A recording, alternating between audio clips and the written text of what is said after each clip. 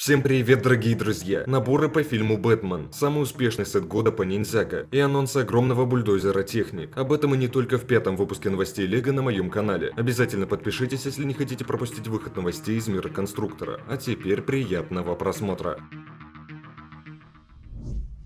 Как издавна заведено, а именно вот уже 4 понедельника подряд, начинаем мы сегодня с официальных анонсов. Интернет-магазин Toys R Us Канада опубликовал изображение нового пака серии LEGO Minifigures, состоявшегося под артикулом 66678. Одна такая небольшая упаковка включает в себя 6 случайных пакетиков с фигурками по Marvel Studios. Стоимость всего предмета ожидается в 30 канадских долларов, что в переводе на российскую валюту составит примерно 1700 рублей. Напоминаю, что один пакетик с минифигуркой в России продавцами предлагается за 279 целковых, то есть 6 таких изделий обойдутся заинтересованным гражданам в 1674 рубля, так что какого-либо сакраментального смысла приобретать данный продукт не имеется. Впрочем, до сих пор отсутствует информация относительно того, появится ли вещь в России или нет в принципе. Есть большая вероятность того, что она получится очередным региональным эксклюзивом, в данном случае для Канады.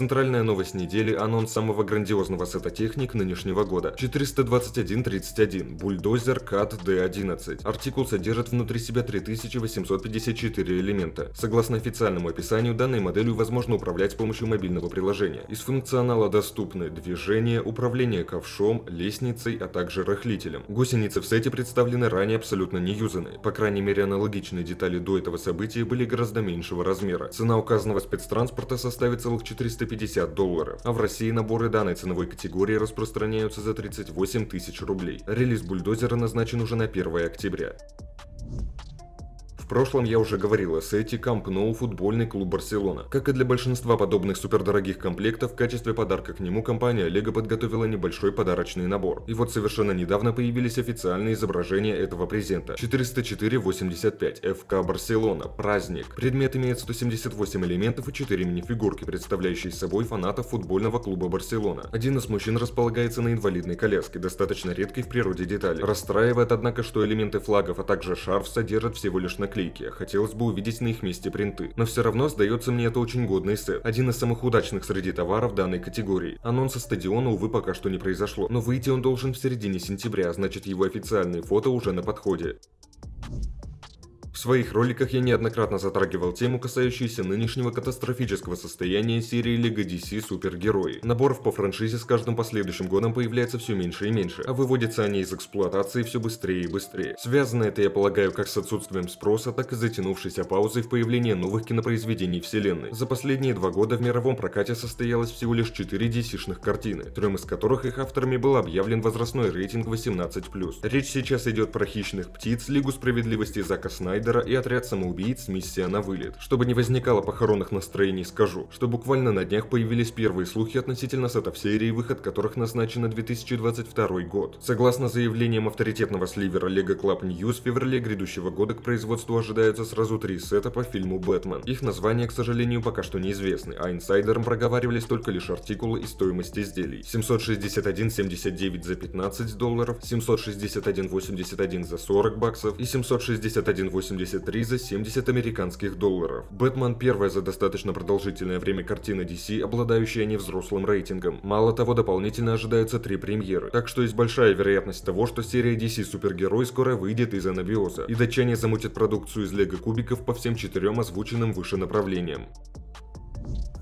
В начале нынешнего года на свет появился самый большой набор серии Лего Ниндзяго в истории – Сады, посвященный десятилетию франшизы. Совершенно недавно благодаря Бриксету стало известно о том, что Лего планирует прекратить производство указанного товара к концу 2022 года. То есть в общей сложности на полках магазинов Сады пробудут чуть менее двух лет. Для сравнения, Ниндзяго Сити продавался два года и три месяца, то есть разница между этими двумя артикулами не сильно большая. И новинку можно назвать скорее успешным продуктом, нежели неудачей. А это в свою очередь может означать, что в будущем стоит ждать еще больше подобных модульников, и как минимум один такой предмет направится на общий рынок уже совсем скоро. Далее, сеты подводный дар судьбы, водный дракон и титановый мех Зейна собираются рожаться как минимум до 31 июля 2023 года. Это показатель факта, что с прилавков эти трое разлетаются подобно горячим пирожкам. Если же говорить о 717-38, то он станет нагружать мощности конвейера компании в общей сложности 2 года и 6 месяцев, что автоматически делает его одним из самых успешных комплектов темы за всю ее историю. Но имеются среди новинок, к сожалению, также и неудачные примеры. Это сверхзвуковой райдер, загнуть производство которого датчане готовятся не позднее июля 2022. То есть отведено райдеру чуть более одного года. Это, конечно, не самый вопиющий случай в природе, но и успехом данный показатель назвать трудно. Но что меня больше всего удивило в информации от Brickset, так это судьба комплекта Электромех G. По планам леговцев, последний продолжит пилиться вплоть до декабря 2022 года. То есть готовится прожить столько же, сколько и сады Ниндзяго Сити. Надо думать, среди своей целевой аудитории набор продается отлично.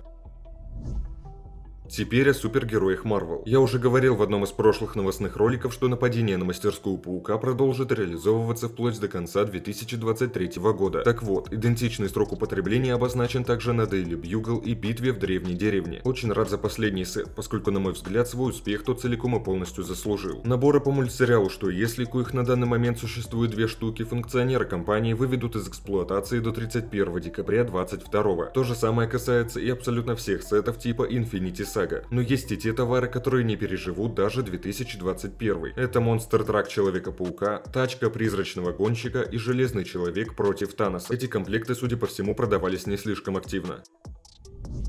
Совсем скоро наступит 1 сентября, а это значит, что к выходу ожидается очередная партия новинок. Всего в продажу к нам залетит 12 комплектов. Новогодний календарь Сити, новогодний календарь Friends, новогодний календарь Гарри Поттер, коллекционное издание символов Хогвартса, побег Стиги Малоха, скелет тиранозавра на выставке, погоня за Карнотавром, побег Барионикса с катера, коллекционная серия минифигурок Marvel Studios, новогодний календарь Marvel, мастерская Мандалорки Кузнеца и новогодний календарь Звездные войны. За последнюю неделю в сети засветились анонсы сразу двух новых выпусков журналов LEGO. Первый из них Ninjago Legacy, имеющий в качестве содержимого две мини-фигурки, а именно Зейна и Вайплэша. В кои-то веке леговцы выкатили номер наследия без повторок. Да, скелеты в печатных изданиях ранее уже появлялись, и не раз, но новинка отличилась от себе подобных наличием пояса синего цвета. Крайне сомнительно, что данный выпуск доедет до России. То же самое касается и второго журнала по теме LEGO Звездные войны, включающего в себя сборную мини-модель турбо-танка клонов, причем достаточно массивную. Появился новый официальный трейлер игры LEGO Star Wars The Skywalker Saga. Напомню, с момента первого анонса продукта прошло более двух лет. С тех пор игра несколько раз переносилась по срокам, а последние полгода и вовсе имела неопределенную дату релиза. 25 августа состоялся Gamescom 2021, на котором TT Games спустя долгое время показала новый трейлер игры, а также объявила ее примерную дату рождения – весна 2022 года. Получается, что с момента анонса до релиза пройдет примерно 3 года, и это в том случае, если ее в очередной раз не не перенесу. Дошло до смешного. С этой последней бой на Звезде Смерти и транспортный корабль сопротивления, произошедшие летом 2020 и содержащие внутри себя код для разблокировки уникальных персонажей в Skywalker саге, прекратят производиться уже в ближайшие месяцы, то есть до выхода собственной игры. А на этом все. Новостей за прошедшую неделю произошло не слишком много. Затишье ли это перед бурей или нет, узнаем через 7 дней. Пишите в комментариях ваше мнение относительно ролика. Всем огромное спасибо за просмотр, всем пока.